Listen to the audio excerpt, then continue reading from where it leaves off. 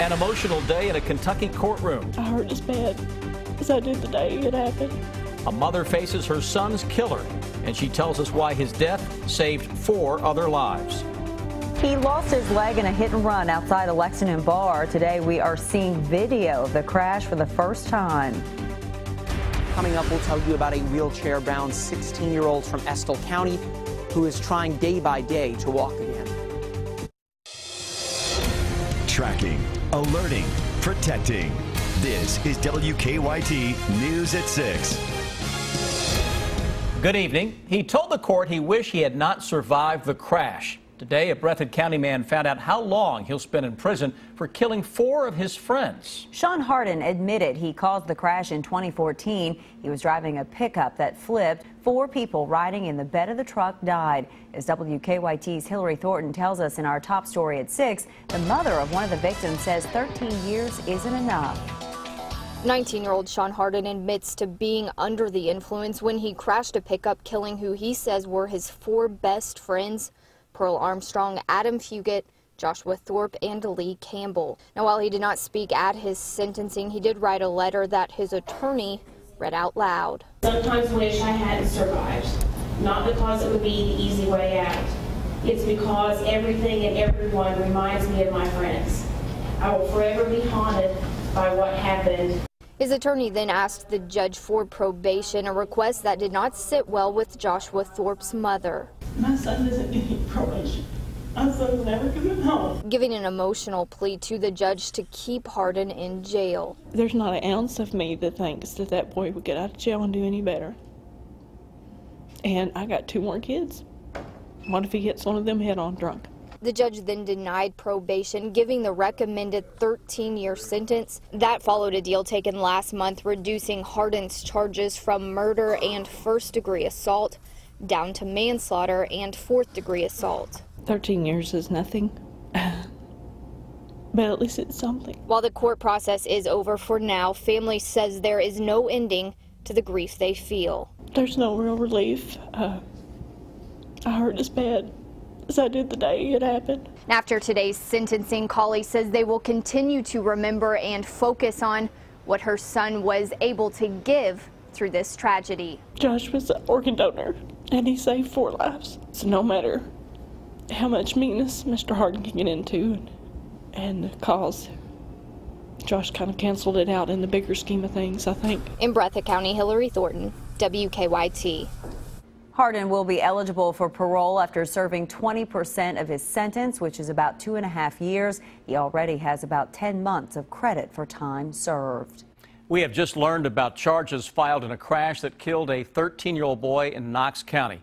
Jathan Patterson died in February after police say he took his mother's car out on a joyride and crashed. Today, a grand jury indicted Jonathan Patterson with manslaughter. Jathan's mother told us that Jonathan is her ex-husband and Jathan's father. The indictment says Patterson encouraged his son to drive the car while under the influence. Last night, a jury convicted a former Lexington firefighter for a hit and run crash that left a National Guard soldier seriously injured. Jarrett McCargo was found guilty of assault and DUI. Today, we obtained evidence used during that trial, including surveillance video of the crash last year at the Beer Trap in Chevy Chase. Our Garrett Weimer is at the courthouse with more. Former firefighter Jared McCargo was convicted of six counts, including assault and DUI. Now we're getting our first look at surveillance video played in court that shows just what exactly happened on that night in September one year ago. The video may be blurry, but you can see the SUV as the driver tries to parallel park, then tries again, instead hitting Noel Espino and crashing through the building. Another angle from a camera further inside the bar shows people running to help as the car drives away. Pictures entered into evidence show damage to the car McCargo was driving that night. Noel Espino also took the stand to testify about what happened that night at the beer trap when he stepped outside to take a call from his wife. I stepped outside and uh, just got the phone and started talking to her. And from that, from then on, it was just clicked. It was like a, a light switch, just turned off and I don't remember a thing. The jury recommended a 10 year sentence for McCargo. His final sentencing hearing is scheduled for November. In Lexington, Garrett Weimer, WKYT. Investigators said McCargo had a blood alcohol level of .122 that night. New information today about a body found during the search for a missing man in Pulaski County. The coroner says there is still no cause of death, but the medical examiner did determine the man had been shot. Investigators have not confirmed yet if the body belongs to Edward Van Wormer. He was reported missing last week. The body was found on his property along Jones Knob Road just outside of Somerset. Van Wormer's son was arrested in North Carolina yesterday in connection to the body being found. The Sheriff's Department says Van Wormer and his girlfriend are both suspects in his father's disappearance. Police say that plenty of tips have come in, but still no leads yet in the hit and run death of a Berea man. Someone hit and killed 71 year old Billy Croucher as he walked along Prospect Street in Berea last Friday night. Police issued a $1,000 reward in the case yesterday. Since then, officers say they have followed up on several leads, but nothing has turned up. Police are looking for a red pickup truck with front end damage. A frightening situation this afternoon at a Lexington grocery store after shoplifting turned violent. Police say that two workers at the Tates Creek Kroger tried to stop a man from stealing a cart full of groceries. When the man punched one of them in the face, police say the shoplifter then pulled out a box cutter.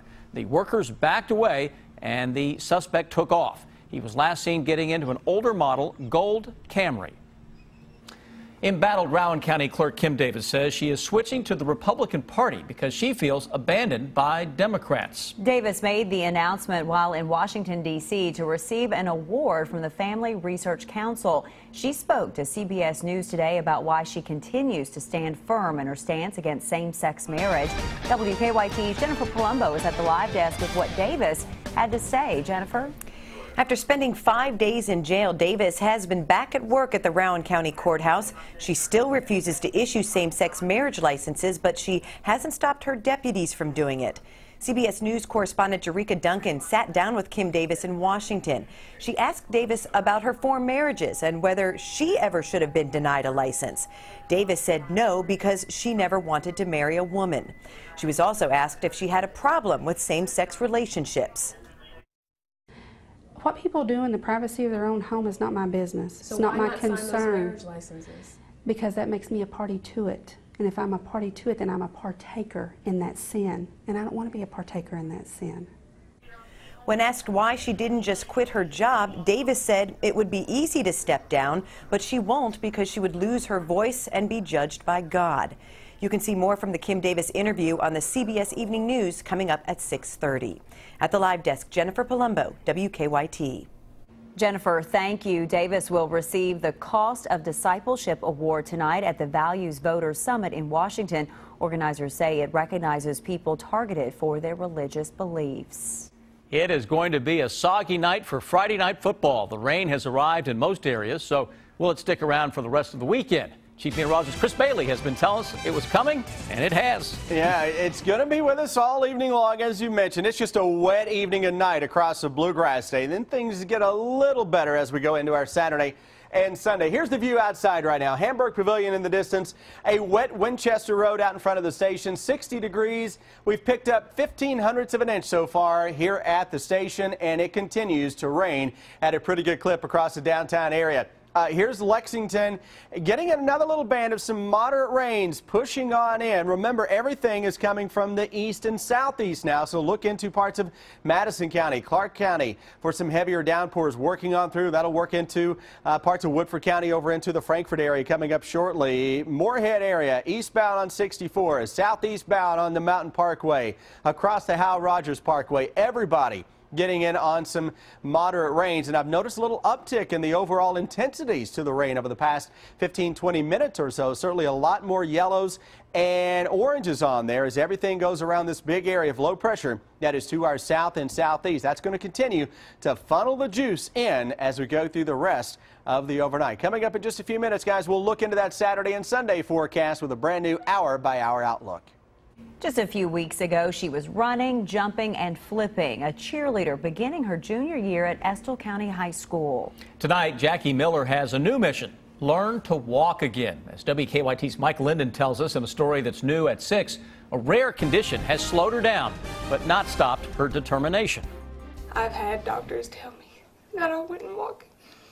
Early last month, 16 year old Estill County High School junior Jackie Miller was practicing gymnastics on the first day of school. After a routine flip, she felt an odd pain in her back. It felt like a pinched nerve in my back. Um, it was just kind of like a really tingly pain. Miller says the pain quickly got worse. When her right leg went numb, Jackie's family rushed her to UK Children's Hospital. Then it just went up across my hips, down my left leg, and then it started to work its way up my waist. Doctors diagnosed Miller with surfer's myelopathy, a rare hyperextension of the spinal cord. According to Jackie's doctors, she is the first confirmed case of surfer's myelopathy in a gymnast in the United States. And of the 62 people affected by it, only two have never walked again. To help raise money for a new wheelchair and renovations to the Miller's home to make it more accessible to Jackie, community members are hosting the High Heels and Hot Wheels Cruise car show and auction this Sunday. Those close to her say despite the situation, she's been an inspiration to them all. For someone at 16 to have that kind of heart and that kind of understanding, and I have that faith, it, it makes a difference in you. Doctors say it could take up to two years for Jackie to walk again. Her mom says she has no doubt her daughter will succeed. You never let anyone tell you you can't do something. If it's in your heart, do it. You can do it. And she's doing it, and it's inspired me. The fundraiser kicks off this Sunday at Citizens Guarantee Bank on River Drive in Irvine. In Estill County, Mike Linden, WKYT. What a great, brave girl there. Jackie plans to be on the sidelines for the Estill County football game tonight with her fellow cheerleaders. We have a sad update tonight about a lifelong UK fan. I first brought you the story of Scott Logden during our Final Four coverage last April. Logden, who was 45, lost his battle with acute myeloid leukemia last night. In 2013, Logden received a bone marrow transplant from a University of Wisconsin student. Logden was a youth pastor and was a major for the Woodford County Detention Center. He leaves behind a wife and four children. A traffic signal on the new extension of Citation Boulevard will go up this weekend, but not at Greendale Road. Lexington Mayor Jim Gray tweeting today that traffic and engineering will install left turn signals at Leestown and Citation this weekend. The state is also planning to put in a traffic signal at Citation and Greendale. That intersection came under fire shortly after the citation extension opened on Monday after several crashes and near misses. For now, the Greendale intersection remains a two-way stop with no left turns. It can be an emotional and difficult topic to talk about, and that's why the Fayette County Sheriff's Office is encouraging people to speak up and stand up to domestic violence. The Sheriff's Office held a news conference today to kick off the start of Domestic Violence Awareness Month in October. The mother of a woman who was the victim of domestic violence spoke at the event. Diana Ross's daughter, Amanda, was shot outside her Lexington home in 2009. Her ex-fiance and former lawmaker Steve Nunn is serving life in prison for killing her. Diana Ross says she wants to make sure other parents are aware of the signs of domestic violence. Nothing that any parent should ever have to experience.